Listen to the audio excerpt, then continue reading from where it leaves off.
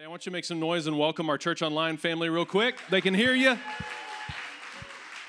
Glad y'all are with us. Grab your Bible. We're going to jump into something brand new called the rescue. Everybody say the rescue. rescue. What would you do if you saw someone drowning? Hopefully, you'd jump in and save them. We have a community pool in our neighborhood. Last year in the summer, one day, Amber said, I'm going to take Annabelle up to the pool. Why don't you come hang out with us? And I, I said, I got to wrap up some work. I'll meet you just in a few minutes. Y'all go on up there. And they went on up, started swimming, having fun. I wasn't going to get in the water, I was just in my clothes. I was just going to sit by the pool, hang out with my family a little bit. And so, about 20 minutes later, I go up to the community pool. I'm walking in the gate, and to my left, I see this woman sitting on a lounge chair in her phone. She has no idea where she is. She just stuck in the phone. I thought that's interesting. I turn to my right, I start walking.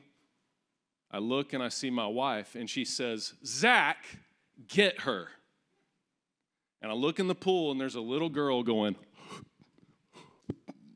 because something most people don't realize about drowning is Hollywood depicts it incorrectly. There's no noise when somebody drowns, it's completely silent. So, in my clothes, I jumped in the pool, grabbed the little girl, scooped her up, got her to the side, out of the water. The woman on the phone realizes what's happening, hops up, comes running over, and says, Oh my gosh, what happened? Now, I wanted to push her into the pool and say, You weren't watching. She almost drowned. I just said she was in trouble, so I, I got her out. Thank you. Thank you so much. I had no idea. And I didn't really think anything of it until I sat down to relax. I was like, wow, that's cool. I just rescued somebody. That was awesome. When I was in high school, I worked at a water park in Lubbock, Texas for about three years. And every year, they would have Boys Club Day. And parents would drop their kids off, and a lot of these kids had no idea how to swim. And, and just on that one day in the water park, it was pretty normal for them to do over 100 rescues. I also worked at an ER in an overnight shift for a couple of years. And so, needless to say, I've been around a lot of rescue. Did you know Christianity is all about God giving us the opportunity to be rescued? That Bible that you're holding, by the way, if you don't have a Bible, just ask us at the hub after church. We want to give you one. But that Bible that you're holding, it, is a rescue guide cover to cover. Rescue is the, the central theme of the Bible. This idea that God did not leave us to drown, to sink, or to swim in our own sin, in our own depravity, but He sent His only Son, Jesus Christ, to this earth to rescue us. Amen? He sent His only Son to live a perfect life, to die a sacrificial death, and then to resurrect from the grave to conquer our sin, to conquer death itself, and to give us the eternal hope of heaven. I want to take you to Galatians chapter 1. It says that Jesus gave his life, gave his life for our sins. Jesus is the ultimate life ring. He's the ultimate rescuer. He gave his life for our sins just as God our Father planned in order to what church? To rescue us to rescue us from this evil world in which we live. So, rescue is what God's all about, rescue is what the Bible's all about, rescue is what church is supposed to be all about, and rescue is what Christians are supposed to be all about. And then Jesus gave us this mandate, this mission. There's no doubt about it. We're called to this that the moment you say, hey, I accept the love, the grace, the forgiveness, the salvation found in the cross of Christ, that, that you are a part of this mission. He said in Matthew 28, Therefore, go. Go and make disciples of all nations, baptizing them in the name of the Father and the Son and the Holy Spirit. And teach these new disciples to obey all the commands I've given you. And be sure of this as you go, as you rescue, as you make disciples, as you teach them and grow them, I'm with you. I'm with you always, even to the end of the age.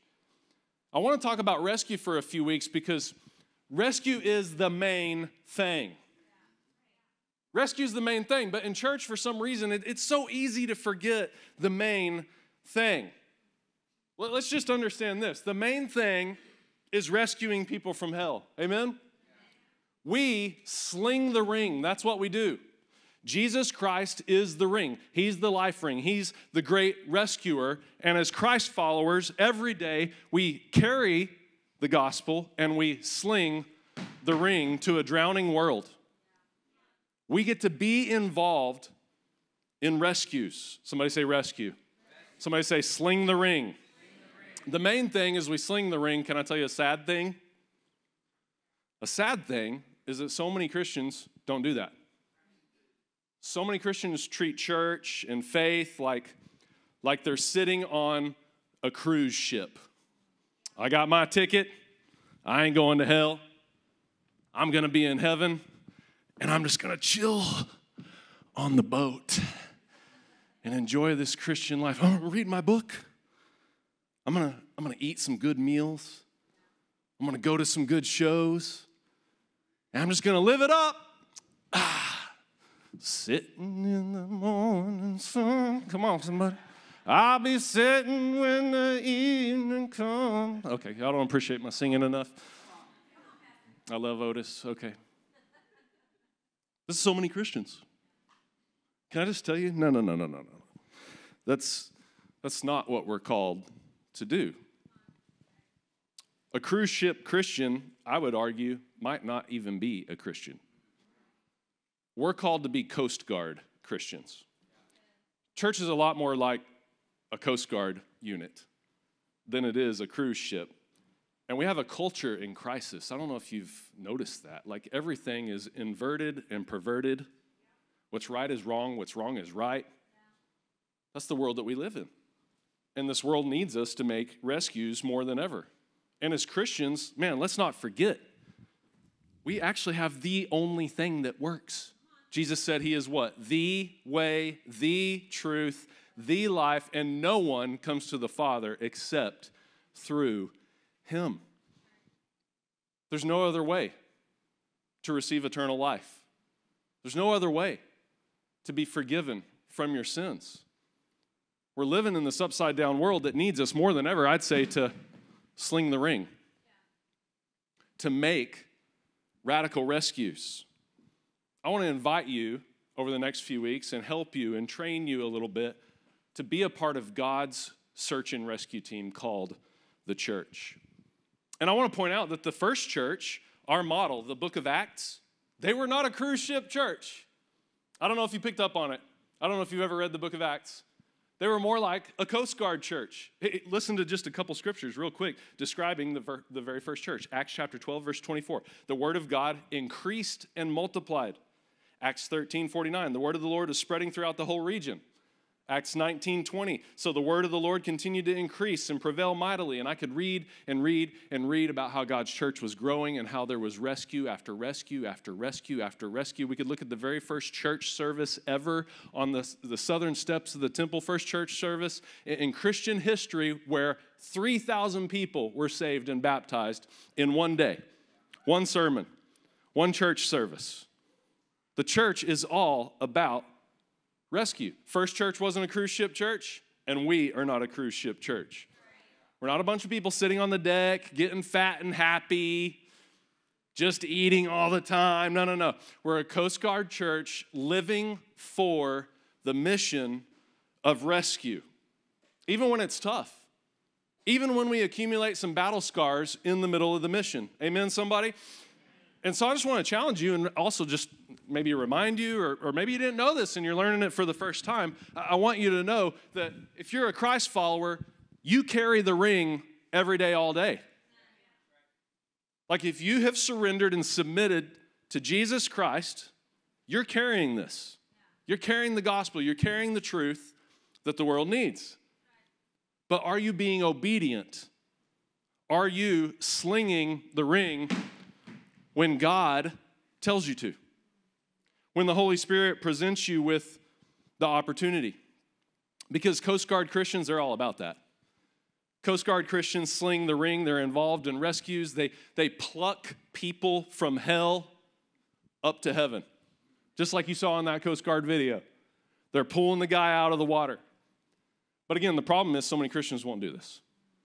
So many Christians won't sling the ring. Now, why? I thought about this this week. Why? And man, I made a list of a hundred reasons. It was pretty easy. So many reasons to not do that, right? So many reasons we don't share Christ. So many reasons we don't sling the ring. But here's kind of the, the big ones. The big ones, I think, cruise ship Christians make rescues, not rescues. Excuses to not rescue somebody, uh, a rescues. You ready? First, safety. Safety. Like we're scared. We have some, some fear. We're, scared. We're scared. What, what, if I, what if I don't say the right words? What if they ask a question I can't answer? What if they know more than me? Some of us are, are paralyzed by the thought of being disliked. It's a safety thing. We don't want to sling the ring. What if, what if it makes them upset?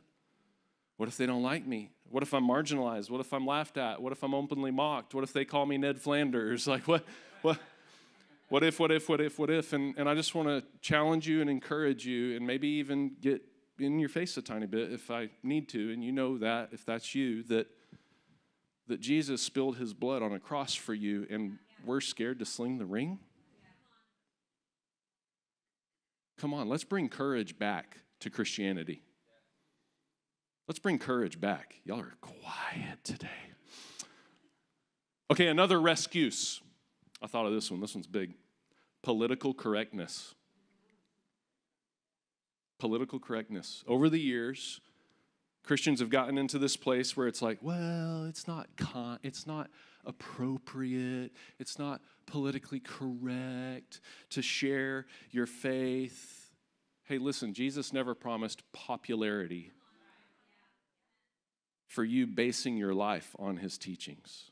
He, he never promised that. In fact, he kind of promised the opposite. In Mark 8, he said, If anyone's ashamed of me and my words in this adulterous and sinful generation, I will be ashamed of them. And then Paul said in Romans 1:16, I am not ashamed of the gospel, for it is the power of God for salvation to everyone who believes. We, we can't worry about being politically correct if someone is drowning. And this world's drowning. I thought of apathy. That's a big rescue.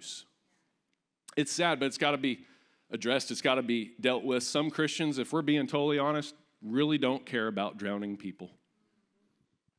Oh, if you saw the little girl in the pool, you would jump in all day long. But there are people drowning spiritually, dying an eternal death, going to hell. And so many Christians are too apathetic to jump into the water of this world and pluck people from the gates of hell. Think about that. Think about how twisted that kind of apathy is. I would actually question if you don't care about drowning people, whether or not you're actually a Jesus follower. I would question that. I would question if you're actually a Jesus follower, if, if you don't pray for drowning people in your neighborhood and in your workplace, if, if you don't care one bit if they accept Jesus and go to heaven or not. I would question Are you even a Christian? I really would. I would. I'd have that conversation all day long. When was the last time you invited somebody that's drowning into your home or into your church? When, when was the last time you had a conversation with somebody that doesn't know Christ about Christ? About how you were drowning too one day, but then Christ rescued you because somebody in church said, I'll sling the ring, and I think that what happens is we get apathetic because we just get into this mode. It's easy to forget church is all about rescue. And, and we get into this mode where it's like we're focused on everything Jesus can do for me, and we forget about all the things Jesus commanded us to do for his kingdom. Here's another rescue knowledge. Man, we use knowledge as, as such an excuse. I'm just here to, to learn more. I, I'm in a season of growing. I need to learn first. Okay, of course you need to learn. Of course you need to grow. Nobody's saying you don't need to grow in your own faith. That's part of it. I am just saying that biblically, real spiritual growth isn't just grow, grow, grow, grow. It's also go, go, go, go, go. And that one of the best ways you grow, grow, grow is by going and slinging the ring and making rescues. I'd argue that the very best way to grow spiritually is to get involved in rescuing people Man, it will speed up your spiritual growth. And man, there's so many more. One other I thought of, I just want to go deeper. You hear that one in church. I just want to go deeper. Okay, listen, that's great. You should want to go deeper.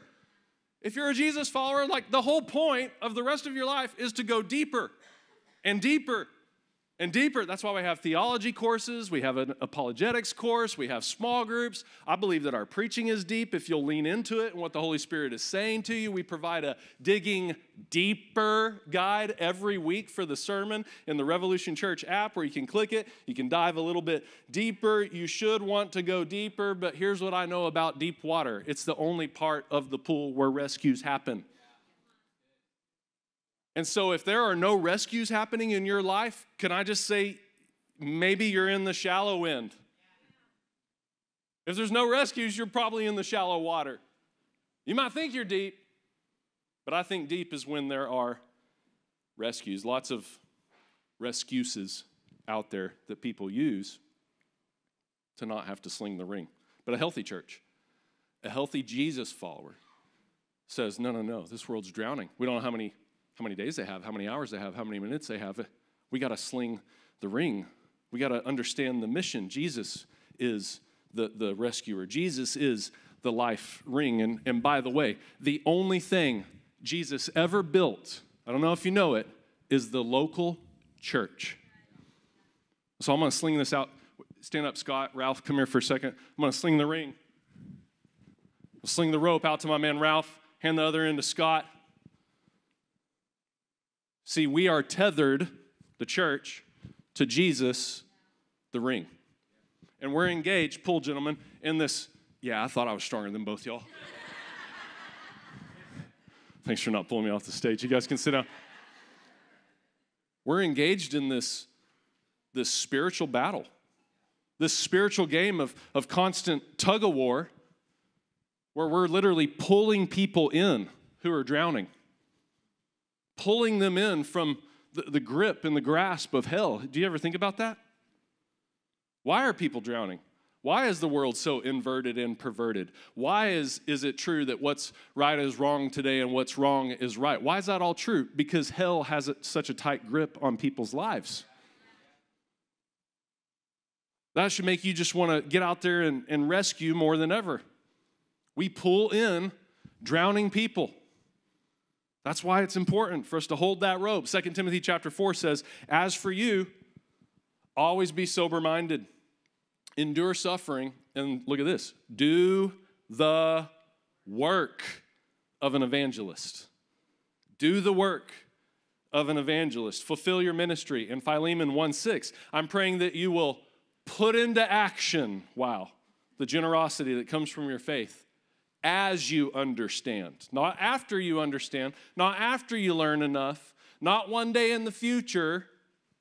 No, right now, as you understand and experience all the good things we have in Christ. The, the scriptures are telling us, church, that you really begin to fully understand and experience the, the power of the gospel when you put the gospel into action in and through your life.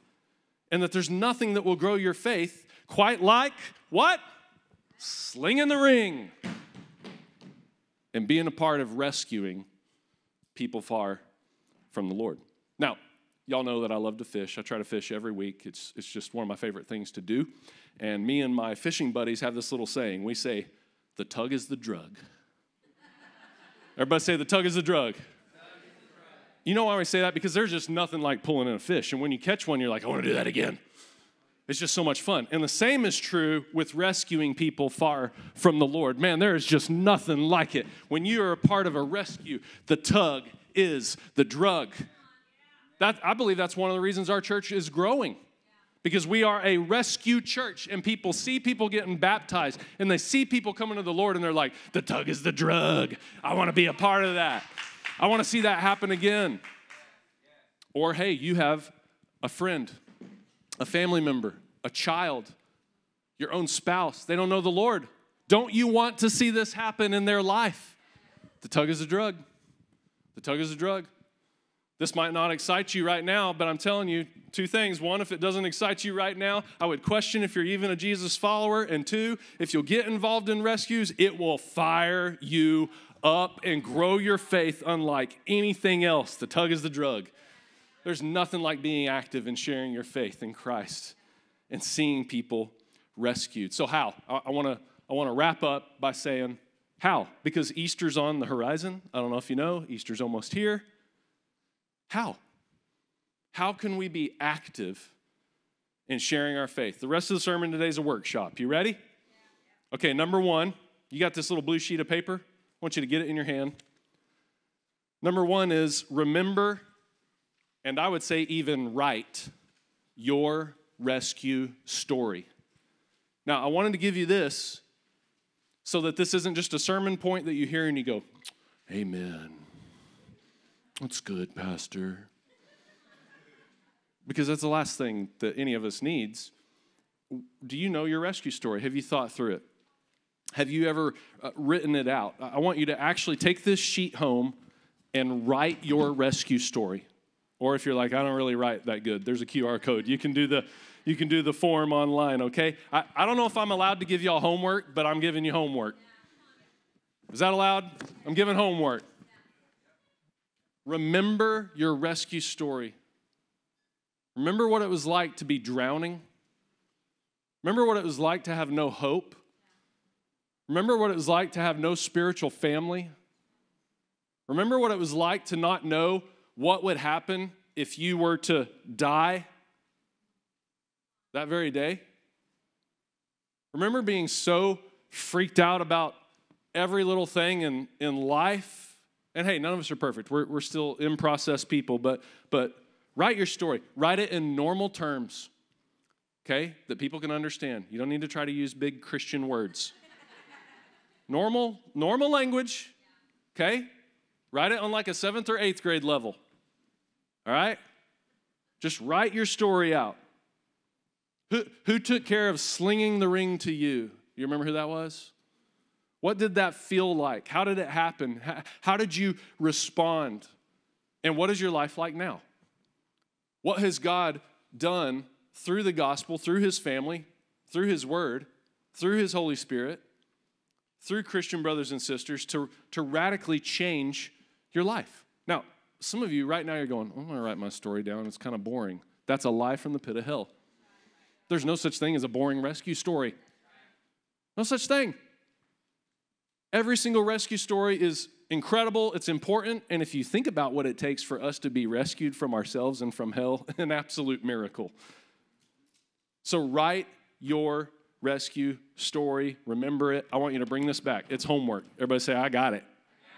Bring it back, drop it in one of the boxes, or drop it at the hub, or hand it to a staff member, because here's what we have learned about stories stories of rescue always lead to more rescue. And here's what you may not know about your story your story is the most powerful thing that you have to share the gospel with other people. You know why? You're the only authority on your rescue story. And people can argue with what this Bible verse says or whether they believe in God or not or blah, blah, blah. But they can't argue with your personal experience of being rescued by the Lord Jesus People can't argue with the fact that the church said, I'll sling the ring. And then when you grabbed onto Jesus Christ, your life was radically changed. Make sure you carry that story all the time. Okay, number two, pray high risk prayers. Pray high risk prayers. Let me explain. Two different things. First, I just want to encourage you to begin to pray with people in public on the spot. This is something that a lot of Christians don't do. And it's one of the most powerful things you can do to, to see rescue happen.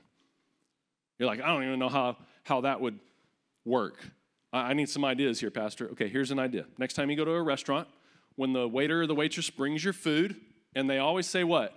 Is there anything else you need? You just say this No, but we're about to pray for our meal. Is there a way we could pray for you? We do this all the time in our family. And most of the time, They're going through something. And they'll share it. And I'll say, just come here. Let's just pray real quick. Jesus, thank you for the food and thank you for, and then I'll launch into a prayer praying for them. Man, I just gave y'all a freebie. You can do it every single time you go to a restaurant. Okay? And then that'll start to grow your confidence a little bit. It'll start to grow your faith a little bit. You'll start to get fired up. The tug is the drug. You'll get fired up about seeing rescues. And then a coworker will share something with you, a friend, a neighbor. Hey, do you mind if I just pray for you right now? I think for too long, God's church has done this. I'll pray for you. Man, there's no power in that because 80% of the time we don't pray for them, we forget. Pray out loud for people on the spot. High risk prayers. What's the worst thing they can do? Worst thing they can do is say, No, I'm good. Okay, have a good day. That's the worst thing. That's not bad at all. You can do that, church. Everybody say, I can do that. Okay, and then the second idea here on high risk prayers is just to kind of have like a rescue list, an ongoing rescue list, an ongoing list of people that don't know the Lord, that the Lord has placed in your life. Man, you've got to understand that God has placed certain people in your life and I will never encounter them. My man Renee here, he goes and works out at this, this gym in town that I don't go to. He sees lost people I will never see. He has friends I will never meet. And if Renee, you don't sling the ring to them, this preacher isn't going to do it. He has no opportunity to do it. This church might not even get to do it, but you, a part of the church, can do it. My friend Garrick over here, he, he, he works down in La Vernia, is that right? And he meets people and sees people and has clients and, and friends and coworkers that you and I will never meet, will never know their names. He has opportunity we will never have. My friend Kelsey over here, she, she works for the city of Cibolo, is that right? And, and she knows people there at the city, and she meets residents and, and deals with business owners that we will never meet, but she'll meet them, and she can sling the ring. And God has you set up in the exact same way. There are people in your life, you're the only one. You are literally their only opportunity for rescue. Pray some high risk prayers. You should have this list all the time. Hmm, I'm praying for this person, this person, this, because I don't know if they know the Lord. I don't know if they know the Lord. In fact, I want to let's make a rescue list right now. Let's do it right now. Grab these little invite cards. Okay? We're going to make an Easter rescue list together right now. Who do you know that doesn't have a church and you're not sure if they know the Lord? That's who these cards go to this week. You have seven days. I'm giving double homework. You're going to share your story. You're going to go for the people on the rescue list. You're going to make a personal invitation. Hey, hey, Garrick, I don't, man, We've lived next door for so long, I've never asked you, do you have a church? You don't. We go to this awesome church. Would you consider coming at Easter? I just want to give you this card. It's got all the times and everything. Which, which you tell me which service, and I'll meet you there and we'll sit together. Man, that would be an awesome opportunity for rescue. Because here's what I promise you if you're not ready to sling the ring yet, okay, don't forget the whole sermon, all right? I believe you need to start slinging the ring immediately. But if there's some hesitation or something, or it doesn't feel right, get them to church. We're going to sling the ring. I promise you that. Together they walk in this building. The ling shall, the ling, the, I got too many rhyming words in this sermon. the ring shall sling. There we go. All right? It's going to happen. So I think you got like five of these or so, five people this week. And then here's the thing I'm going to give you five more next week. Okay? But who are you going for this week? There's your rescue list high risk prayers where you pray, God, would you give me opportunity to sling the ring to this person? God, would you give me opportunity to be involved in rescue? God, would you start to start to soften their hearts so that they'll respond to the gospel? Remember and write your rescue story, pray high risk prayers. Number 3, we've got to live and give generously. Live and give generously. I was reading recently, Jerry Jones has a yacht that costs $250 million. $250 $250 million. But I've never heard anybody say, Jerry Jones just wants my money. All Jerry Jones and the Cowboys care about is money, money, money, money. Nobody says that about the Cowboys, but people say it about church all the time. So interesting. And I was reading further and I found out do you know how much it cost Jerry just to own and operate and store his yacht? It costs him 10% of the cost of the yacht. 10%, 10%, 10%. That sounds familiar. 10%, 10%. Okay, anyway. Some of you get that, some of you don't get it. It's okay. Then I was reading one article. Check this out. I learned this week that the average Coast Guard rescue is $10,000 per hour. And the average rescue is four hours. So, just like a normal, average, somewhat simple rescue for the Coast Guard, $40,000. What I'm trying to get you to see, church, is that if there's rescue, there's a cost. That rescue takes resources, takes resources. Now, since we're talking about giving, I want to give you a super quick update, okay? Um, most of you know we own property on 3009, and we have been working to get some initial bids from some different contractors. I'm excited to say we finally got an initial bid. It is, uh, it is, it is tight, tight, tight, if you know what I'm saying. Have you noticed costs are not going down? Everybody's like, next month they'll start going down. No, they will not. Costs are not going down for years. So, what we believe is that it's time to move forward with as much intensity, as ferociously as we possibly can. Okay, we're gonna have to go all in to make this thing happen. All in. So, we're gonna start something the week after Easter called All In. All in, because we just believe if God can raise a son from the dead, we could raise our generosity so we can raise a building in order to raise more people to faith in Jesus Christ. Y'all get ready to go all in. We have to live and give generous lives. Rescue takes resources. Number four is just the title of the sermon, of course, that I've been saying all along. Number four is sling the ring. Sling the ring. I don't know how else to say it other than at some point Man, you just got to go for it.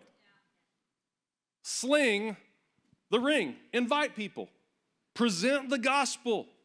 Now, we're going to be working on this, like I said, and I'm really excited about Easter. I'm going to do I'm going to do something. I don't know if it's smart or not. I'm going to do something on Easter Sunday where we are going to train you how to sling the ring by just presenting the gospel to all of the guests that are going to be here on Easter because that's what it's all about anyway. Amen to the room in a very creative way that you could do on a napkin, a sheet of paper, a pen on the palm of your hand. We're going to literally equip you to sling the ring. And by the way, speaking of Easter, let's talk about Easter for a second because Easter's coming. And the goal at Easter is to fill every single seat with a soul. I knew it. This church is just about numbers. No, but you can't rescue an empty seat. I learned that. You can only rescue a soul sitting in an empty seat. Amen? So the goal is to get people here who need to be rescued. Okay, so you got the invite cards, you got your hit list, all right? You got your share your story sheet. Uh oh, triple homework. I made you some door hangers. I'm so pumped about this. We haven't done this in years. I don't know how many you got, but I want you to go plaster your own neighborhood. Go plaster your neighborhood. They have the the signs on their door that say they don't like people coming to their door. Be sneaky. I don't know what to tell you, all right? Our whole neighborhood has that sign right at the front of the, the neighborhood, okay? Just let, let's go put these on doors. I'm gonna give you some more of these next week. We're gonna sling the ring, we're gonna make the invite. Uh, I also have yard signs, okay? And you can take one today. Please don't take two. Just take one, you put it up kind of close to your house like this. By the way, people have told me in the past we're not allowed to do that in our neighborhood with our HOA. It's actually illegal in the state of Texas for an HOA to tell a homeowner that they can't put up a religious sign. So don't be confused. You are allowed to put one of these up. And then the week after Easter, take it down. Don't leave it up till next Easter. That's ghetto. that doesn't help us, okay? So on your way out, if you would put one of these in your yard, you can grab one. There's some at the front, there's also some uh, in the back of the room, by the door, and by the cameras back there, okay? So we're going all in, church. We're going all in for rescue this Easter. A couple other things you can do for Easter um, one, arrive early. Two, park far in the lots across the street and ride the golf cart, which is why you need to arrive early. Okay, early is not after the second song. Early is 20 minutes before the first song. Okay, and look at the Easter times. There's a change. I don't know if you see it. And this is actually going to be a permanent change that will stay in place after Easter. 8:45, 10, 11:30 and 1. If you're here for all four services, you will see why we need to space the services out just a little bit more, okay? So starting Easter Sunday, here's here's your new times. You guys now come to church at 8:45 is the start time, but you get here at 8:25. Right?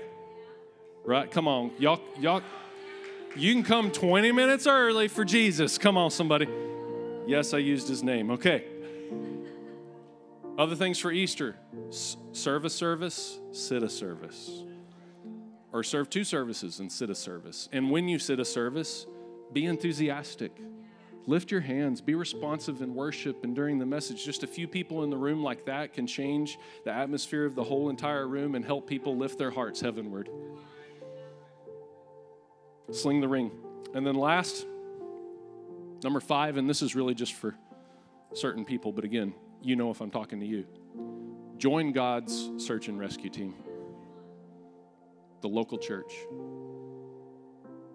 I didn't say just get on the boat, join it. Sign up for the Spiritual Coast Guard. Become a part of the church. We have a thing twice a month called Starting Point. And if you'll come to Starting Point, you'll be given the opportunity to learn all about the history of our church. It's, it's less than an hour, it takes almost zero time and you're, you're given an opportunity to, to join this rescue society called Revolution Church. You're given a chance to become a member and, and to see what membership means here at Revolution Church, to, to get some of the story, and, and then to join the dream team. The people really slinging the ring are the dream team. People really making the rescues are the, the dream team. Can we just make some noise for our church and the dream team? Church, I want you to know, last week we crossed 1,500 people baptized. That's a church that slings the ring. We've had over 3,800 people rescued here at Revolution Church from the pit of hell. 3,800 people. Join God's search and rescue. Get on a dream team. Do it before Easter when your church needs you. Do it before Easter. You know what Jesus said to the disciples? He took them to pray with them. He said, Would you sit with me and pray? They kept falling asleep. They weren't doing nothing. And he said this, and I wonder if I could just say this to you. He said, Guys, could you not tarry with me for one more hour? And some people go to church and they're like, So wait, I come to church for an hour, two Sundays a month. Are you telling me you want me to come for two hours every Sunday? Yes, I'm telling you that. Sit a service, service, service every single week. Could you not tarry one more hour for the Lord? You've got one of these connection cards. If you're ready to go all in, you're ready to join this church, you're ready to say, sign me up for search and rescue, I want you to fill this card out. Check the box that says starting point and the box that says dream team. And then go by the hub and give them that card, and we're going to begin the process of getting you connected to the church. Why? Because there's a culture in crisis, y'all. There are people drowning, and Christians hold the only hope of rescue. We, we hold the only lifeline, and we've got to fix our focus, I believe more than ever, on our God given duty to save lost, drowning people, to sling the ring. So, Heavenly Father, we thank you that you've given us the opportunity to be a part of your search and rescue team, the local church. God, those of us in the room who have been rescued, help us never to forget our story. Help us never to be apathetic. Help us never to be too scared to, to sling the ring. Help us to never use knowledge or spiritual growth or going deeper as an excuse, because there are no excuses. You have called us, you have commanded us, and you have empowered us. So, God, I guess the only thing left to pray is please use us. Please use us. And as you talk to God about the people that need to be rescued in your life right now, the steps you need to take right now, listen, if you're not a Christ follower, I'll say it one more time Christianity is all about how God has given us an opportunity to be rescued.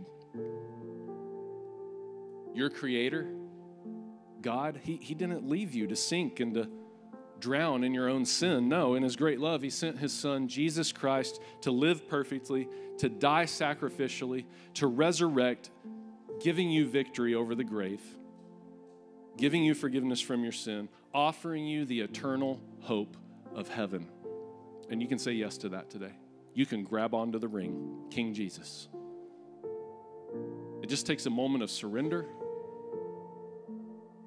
a moment of submission to Him as Lord, a moment of confession and repentance of your sin, the fact that you are drowning.